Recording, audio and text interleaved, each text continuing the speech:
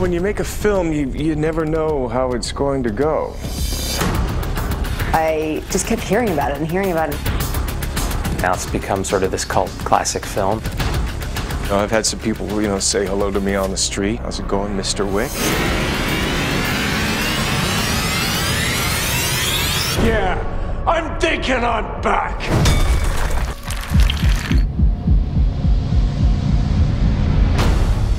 John Wick 1 had a very tortured life. We didn't know if the audience would embrace the aesthetic of the movie. Baba Yaga. And it was kind of miraculous that we were able to pull it off. We were really fortunate that people liked what we did. It had its own vibe to it. The action was really cool. The comedy was spot on. Noise complaint. Noise complaint. It's just a really cool, fun movie. It was a great script. The directors did a really amazing job in bringing the tone and bringing the worlds to life. Room 880. Uh, you know, we wanted to do something different and we wanted to make bold choices and be provocative. I guess we just never thought it would resonate past the genre movie. I think the whole world just sort of embraced Keanu being back. You look good. And hearing about it and people saying you have to watch it, you have to see Keanu in this film. Cast the man, cast the man, cast the man. And I, think Keanu Reeves, he's very much like John Wick. He's very dedicated. He's a man of precision and, and stick-to-itiveness. And Keanu's got his own code as well. He's sort of the good guy of the bad guys. And the way Keanu does them is unbelievable. It's a very simple, understated performance.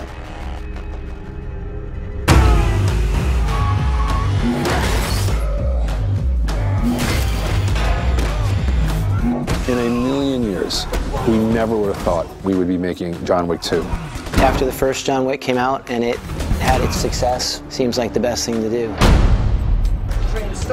When I got the opportunity to read the script and talk with Chad, I knew I need to be in John Wick 2.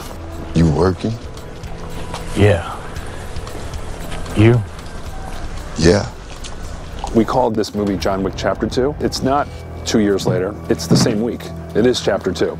And so we kind of sustain a lot of the same emotionality that we did in the first movie. How good to see you again so soon, Mr. Wick. It's been fun to come up with the story for the film, to figure out what could that be. Exploring the mythology, we're kind of continuing it. We're going deeper into it. How do you give them a mixture of the world that they know and they like, and give them a little bit more about that world that they already know, and then add to the top of that an expanded world with more characters? What could it be for this character? Like, what would bring him back? Well, you can't kill another dog. We don't want to do that. How do you give them an emotional way into this movie without repeating ourselves? What brought you back, John? A marker.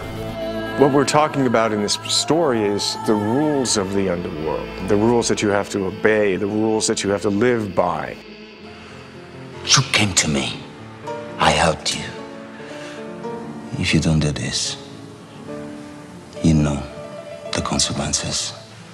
The past of John Wick comes knocking on his door, and the consequences of John's choices keep ripping away the world.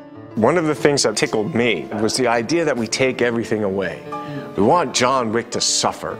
I love it when he suffers.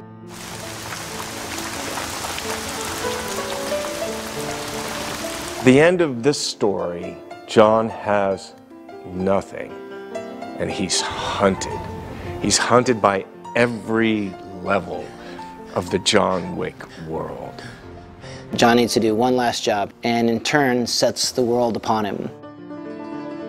But it's only the second chapter. And like any good book, it's got a third. I'll kill them. I'll kill them all.